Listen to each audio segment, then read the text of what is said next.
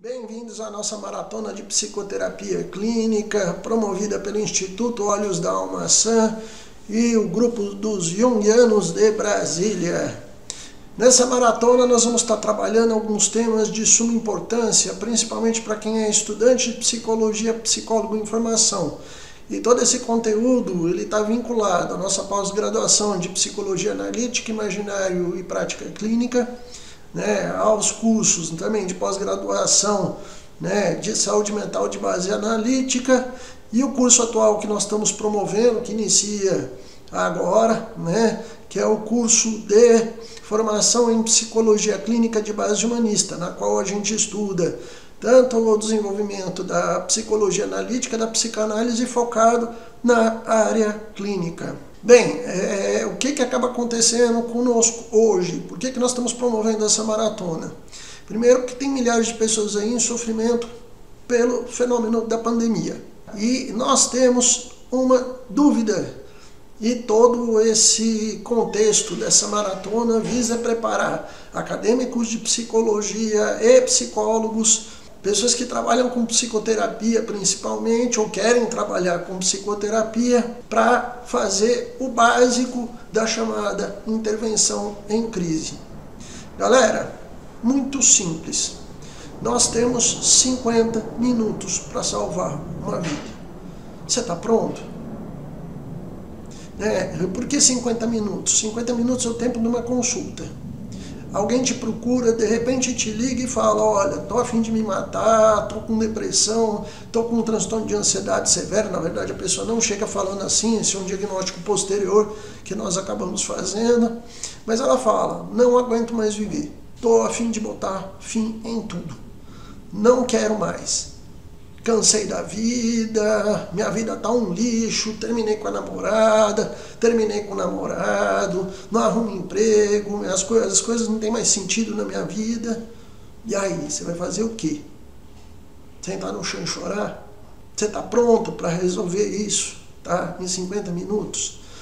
Não é que na verdade a gente vai né, é, salvar literalmente uma vida em 50 minutos, porque a terapia é um processo que às vezes pode durar até anos.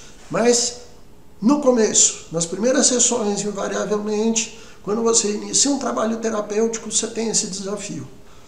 Tá? Que é o seguinte, o paciente chega em total desespero, descabelando, arrancando os cabelos, né? falando, meu pai do céu, e a gente que está na, na, outra ponta, enquanto profissionais de saúde, né, eu como psicólogo clínico, né, da abordagem analítica, pesquisador na área de saúde mental, professor, né, atuando em consultório desde 1993, eu falo que até hoje, né, essa semana, por exemplo, eu tive dois casos assim, um deles gravíssimo, inclusive, né, que até um padre é, conhecido nosso trouxe, né, recomendou, e é a situação literalmente extrema da chamada intervenção em crise.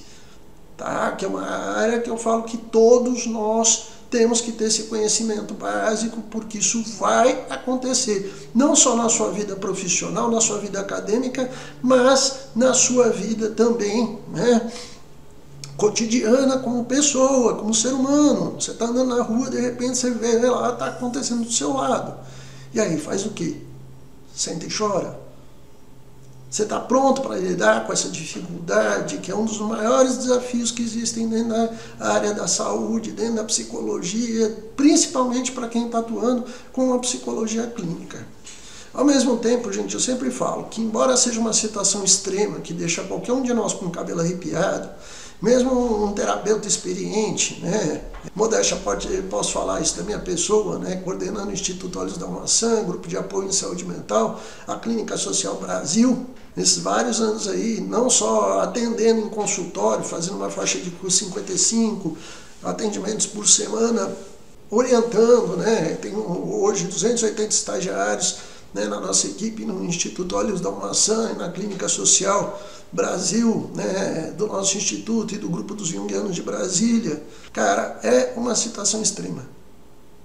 Você tem 50 minutos para fazer a diferença, para fazer um paciente aderir a um tratamento ou sair do seu consultório e não voltar nunca mais, com o risco dele se matar ou fazer uma besteira com relação à vida. E aí, você topa o desafio? Vamos aprender a lidar com isso? É, esse é um conhecimento que nós estamos disponibilizando gratuitamente para vocês que estão participando da nossa maratona, baseado inclusive na experiência que nós temos de parcerias com entidades como o Ministério Público Federal, Exército Brasileiro, né, vários conselhos de classes é, de profissionais são nossos parceiros, porque nós prestamos para todas essas entidades né, esse serviço de, de orientação, acolhimento e atendimento. Né, e não estou aqui falando dessas coisas à toa.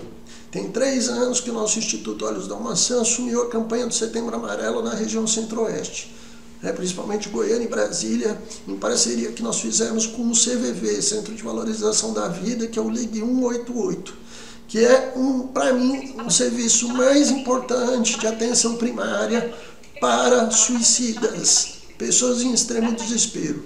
Quero passar para vocês que estão nessa maratona conosco essa expertise, essa condição básica, esses ensinamentos que eu acho que podem fazer total diferença na tua prática clínica. Por quê? Eu, particularmente, eu defendo que isso tinha que ser ensinado em todas as universidades, todos os cursos de psicologia, todos os cursos da área de saúde. Né? Eu defendo que isso tinha que ser uma, uma disciplina optativa que fosse até de 20 horas. Né? Eu acho que o básico, em 20 horas, você leciona muito bem. Né? E nós oferecemos essa expertise para todo mundo que tem interesse, né? professores, é, universidades, mas nós tínhamos que tratar isso como uma espécie de curso de pronto-socorro. A gente não faz aquele curso de primeiros socorros para poder dirigir, para aprender a lidar com o kit de salvar-vidas, que acho que isso que tinha que ser ensino não, não para quem dirige só, isso tinha que estar no nosso ensino médio. Né? Mas todo profissional de saúde tem que conhecer isso, gente porque nós estamos lidando com pessoas é, há mais de cinco anos, nós temos notado, né? É, veja que essa maratona está sendo gravada agora em 2020, período da pandemia, mas há cinco anos nós temos notado claramente uma epidemia de casos de suicídio, que já acontecia antes do período da pandemia. Tá? Nós não estamos falando desse conhecimento à toa, nós estamos falando de uma expertise que é né, o nosso arroz e feijão. Diariamente nós trabalhamos com isso. Né? O Instituto Olhos da Maçã virou referência né, na região centro-oeste no atendimento né, para casos de saúde mental. É, que nem eu falei anteriormente, temos 280 hoje profissionais estagiários trabalhando conosco noite e dia, atendendo pessoas, na sua maior parte, pessoas carentes. E o que, que acontece, gente? É esse conhecimento que nós estamos passando para vocês de lidar com essa, com o primeiro, o acolhimento, que é isso que eu quero falar agora, né, nessa primeira aula. Instituto Olhos da Alma Sã, Goiânia, Goiás. dos pontos que eu acho fundamental, que eu sempre bato muito na tecla, quando eu vou fazer palestra sobre suicídio, quando eu estou rodando por aí, treinando meus alunos, né, as pessoas que vêm participar do nosso instituto, os colegas que estão na clínica social. E, gente, eu gosto de frisar que essa experiência, né, ela, ela iniciou quando a gente fundou, na época, o Grupo de Apoio para Pacientes com Depressão, né, o Grupo de Apoio em Saúde Mental, que a gente atendia em reuniões de grupo uma faixa de 200, 150 pacientes, em média, por reunião. Tá? Uma metodologia que depois foi migrada, né? os psicólogos né? e assistentes sociais passaram a frequentar o grupo, nós formamos aí nada, nada, pelo menos uns 200, 300 profissionais, e essa metodologia ela desceu depois, hoje, para os CAPs, né, que é as terapias de grupo que fazem hoje com pacientes né, psiquiátricos, né, porque hoje na, na, nossa região nos CAPs não se atende individualmente, né, os atendimentos individuais muitos são deslocados para nós, aqui no Instituto Olhos da Maçã. Então o que, que acontecia? O profissional volta a bater na tecla, né, chegava o paciente em desespero, 50 minutos para resolver a encrenca. Faz o quê? Sente e chora? Primeira questão que eu falo que é fundamental nessas horas é o acolhimento do paciente. Você tem que se trabalhar, cuidar para não ter preconceito, cuidado para não interpretar, para não julgar. Nessas horas eu gosto muito da metodologia utilizada, eh, que advém da psicologia de Carl Rogers, que é uma abordagem mais humanista, mas que ela também está muito dentro da psicologia analítica do Jung, né? a, a, pós-psicanálise, as abordagens mais humanistas. Né? Eu vejo que alguns profissionais da Gestalt têm isso, do psicodrama tem isso, mas eu vou utilizar como ponto de referência técnico, inclusive, a abordagem do CVV, que é baseada na, na, psicologia do Carl Rogers, que é a escuta total, a escuta plena, a escuta acolhedora. Acho que num primeiro momento, gente, o que faz a diferença no tratamento de intervenção em crise é esse acolhimento total. Você não pode julgar, não preocupe em interpretar nada, preocupe-se em se colocar ao lado do paciente. O Carl Gustav Jung, psiquiatra suíço, né, fundador da psicologia analítica, na sua obra Prática da Psicoterapia, que é o volume 16 das obras completas, ele fala muito disso no primeiro capítulo que mais importante do que a técnica é o estar junto com o paciente. É passar a ter uma postura de acolhimento, de, de sabe, essa coisa do o paciente tem que sentir que você está com ele. Ele tem que perceber que você está abraçando ele. Né? E essa forma de abraçar, de acolher, né? essa forma de, de carinho, esse formato de afeto, gente, ele tem que estar em todas as nossas atitudes, no nosso espaço terapêutico, tá? Na forma como você olha, na forma como eu falo que aqui onde o terapeuta ele tem que ter um quê de bondade, de, sabe, de de suavidade, né? Tanto é que eu falo que o que mais atrapalha um terapeuta numa intervenção em crise, nessa rotina dos 50 minutos, é o olhar crítico, é, é o olhar do desespero. Se você repassar para o teu paciente que você está mais desesperado do que ele, ele vai embora e não volta mais. E aí você perdeu a sua chance dos seus 50 minutos. Tá? Então eu falo que a primeira questão que eu, eu adotei isso, inclusive em toda a minha prática profissional, independente de que é um paciente, tá? seja ele um neurótico, um, um paciente bipolar, né? um esquizofrênico. Primeira condição que isso gera empatia, isso gera rapport, isso gera a técnica de acolhimento, que ela parte do seguinte pressuposto, né, da tua curiosidade como ser humano de querer ouvir a história dessa pessoa. Não preocupe em interpretar nada no primeiro momento, galera. Preocupe em escutar a pessoa, em ser afetivo, em, ser, em ter empatia. Pô, tô contigo, você está sofrendo, eu tô com você. Quero te escutar. Fala para mim o que está acontecendo. Se abre comigo, vamos, vamos trocar isso aqui. Relembrando que a psicanálise foi criada e fundada né, por mais de 50 cientistas que juntos estavam estudando. Né, e o Breuer, quando criou a psicanálise antes de Freud, né, o Freud vem depois, né, aproveitando os ensinamentos do seu mestre, ele já tinha percebido que através dos insights eles aconteciam na terapia pela palavra. O paciente contava suas histórias, ele, ele abria um dreno né, para revivenciar situações traumáticas que aliviavam o sintoma, principalmente da ansiedade. A gente vê muito isso em consultório. Né? O paciente, quando começa a contar as coisas, que ele começa a falar, ele vai falando, ele fica melhor. Só que para isso acontecer, o terapeuta tem que estar tá desnudo né? Não no sentido literal, de ninguém está pedindo para arrancar roupa, não. Mas você tem que estar tá com um profissional desarmado. Esquece teoria no primeiro momento da terapia, tá? Eu falo muito que isso é uma, é uma questão que eu tenho utilizado e acho que o sucesso que eu tenho é, profissional vem muito dessa postura. Primeiro, no primeiro momento de eu não quero ser analista, eu não quero ser junguiano, não quero ser nada. Eu quero ser um ser humano que está ali à disposição para receber alguém que está em sofrimento eu não quero nem entender essa dor, eu quero primeiro conhecer essa dor.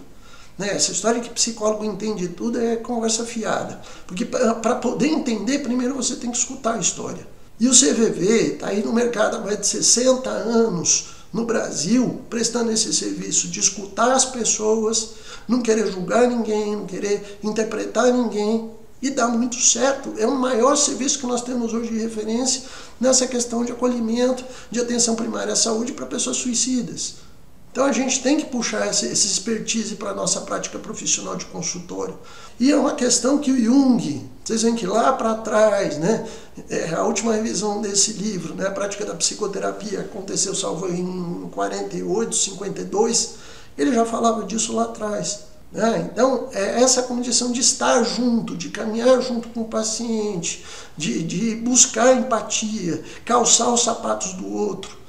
Tá, eu estou com você, você está sofrendo, eu estou com você. E nessa condição de empatia, gente, de acolhimento, não tenha dó de abraçar seu paciente caso ele esteja muito desesperado. Segurar nas mãos dele, né? olhar nos olhos dele, acalmar a pessoa, gente. Nossa primeira meta terapêutica é acalma a pessoa que está em desespero. E acalmar essa pessoa, para que ela se acalme, ela tem que perceber que você está lá com ela. Ela não está sozinha.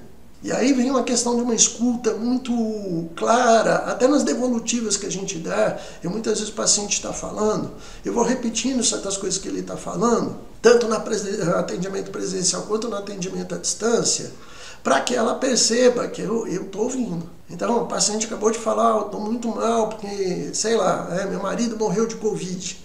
É, a pessoa está vivendo um luto. Tá? Eu estou fazendo atendimento à distância, ok? Né? Aliás, isso é uma situação que, lamentavelmente, hoje é comum. A pessoa conta uma, uma citação, uma, né, várias frases. Eu, várias vezes, eu repito frases que a paciente acabou de falar. Tá? E não estou fazendo isso de propósito, não é aleatório. É para o paciente perceber, pô, esse cara está me escutando. Tá? O terapeuta que está comigo, ele está me escutando. Ele está ouvindo as coisas que eu estou passando para ele. Isso vai dando o, o, o, gancho e a importância do fenômeno que a gente fala tanto em consultório, chamado rapport, né? a empatia. Ah, e às vezes, né, a partir disso você pode trazer exemplos, fala, não, ou, eu sei o que, que você está vivendo. Infelizmente é uma situação comum. Tive outro paciente que viveu isso, né? Eu já passei por situações parecidas, até com perda de amigos, pessoas conhecidas, tá? Para segmentar e, e solidificar essa condição que a gente tem de igualdade. Tá? Um erro terapêutico, que eu falo que é muito comum, é quando você, terapeuta, fica muito diferenciado do paciente. Né? Essa coisa do, do, da falta de humanidade, né? a cara de geladeira, essa coisa da psicologia positivista, que para mim isso aí, é, quem, quem preconiza isso é professor de universidade que nunca pisou em consultório. Né? A terapia ela tem que ser aquecida, ela tem que ter alma, ela tem que ter afeto, ela tem que ter coração que é por aí que a gente vai tratar os pacientes. Isso a gente vai ensinando ao longo de todos os nossos cursos, né?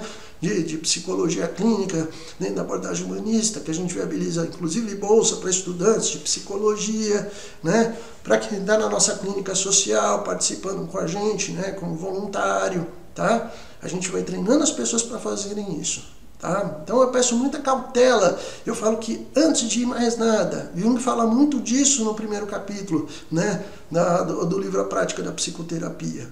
Esquece abordagem, esquece teoria. Primeiro seja humano. Não tenha medo de abraçar um paciente, de segurar na mão do paciente, de olhar nos olhos dele e falar: olha, eu tô, eu tô com você, eu sei que está doendo. E sobretudo, gente, primeira meta, acalma essa pessoa que está em desespero. Por quê? Se você deixar ela em desespero, se ela sair do seu consultório tão desesperada quanto ela chegou, você jogou fora os 50 minutos que você tinha para poder fazer esse trabalho inicial. Tá? Então, primeiro de tudo, primeiro de tudo, vamos tirar a pessoa do desespero. Faz ela relaxar. Se você tiver que dançar com a pessoa, contar piada, não sei o que, que você vai fazer. Porque aí entra a intuição do terapeuta, entra todos os teus estudos preliminares, entra a tua capacidade de ter feito terapia ou não antes, né? as supervisões que você assistiu antes. Né? E a gente bate muito nos cursos de formação que a gente tem, né? que o, terapeuta ele tem que fazer terapia, ele é obrigatório a, na formação dele fazer supervisão. Né? E no nosso instituto a gente oferece isso dentro do pacote dos cursos né, que inclusive são cursos que metade do valor deles são subsidiados, por isso que eles são mais baratos que os cursos que estão por aí no mercado, e com uma equipe altamente qualificada. E eu falo que o, principal nesse primeiro momento, gente, é o teu equilíbrio. Você tem que se equilibrar para poder ser terapeuta. E por trás do equilíbrio vem toda a bagagem teórica, toda a bagagem prática. Para quê? Para você poder acolher essa pessoa. Até que para nós um dos crivos de, de, de seleção inclusive durante os cursos que a gente faz, é olhar o grau de aderência que esse profissional, que o nosso estagiário tem com os pacientes. Quando encaminha, por exemplo, para, sei lá, Rita, né? nome fictício, que está fazendo estágio com a gente. Cinco pacientes, nenhum fica, é porque ela está afugentando todo mundo. Por que, que a Rita está tá expandando os pacientes? Porque ela não está legal. E lamentavelmente a gente tem hoje na sociedade abordagens, né? A turma do comportamental, os behavioristas, a turma dos coaches, né? Você fala para a galera fazer terapia para se equilibrar, sim na sua cara. Né? Porque eles não acreditam nessa questão da, dos eixos né? de relacionamento transferenciais. Né? Quem vem trabalhando com isso é da psicanálise para frente, né? a psicanálise, a pós-psicanálise. A gente que estar nessa uma, uma orientação mais humanista. Só que essa turma ainda quer dizer que quer trabalhar nessa área de intervenção em crise, eles não dão conta. Primeiro, porque não tem equilíbrio, não se formaram para isso. Tá? Não é com técnica motivacional que você vai lidar com gente que está em desespero. Aliás, na hora do desespero, esse tipo de profissional não só não dá conta, como faz merda e cai fora. Né? Eu canso de receber gente que estava fazendo curso de coach, surta, né? cai num transtorno bipolar porque foi fazer uma técnica de hipnose, com gente incompetente que não entendeu o que é o inconsciente. Depois que surta, manda para o nosso consultório, né? A gente tem que arrumar a cagada do profissional, né? Que aliás eu não chamo nem de profissional. Esse amador que estuda de um jeito porco as coisas e quer ter resultado e não consegue resultado. E além não só se queima no mercado, como também, né? Não basta se queimar no mercado, tem que promover doença na cabeça das pessoas, né? Então não dá, né, gente? Vamos levar a coisa a sério. Né? Temos 50 minutos para promover isso.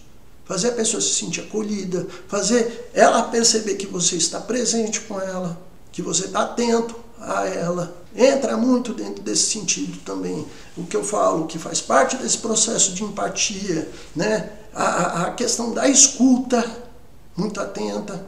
Né? E eu vou falar disso agora, sobre a escuta, e vou falar também sobre o sétimo do trabalho terapêutico que a gente tem que desenvolver para poder seguir nesse processo.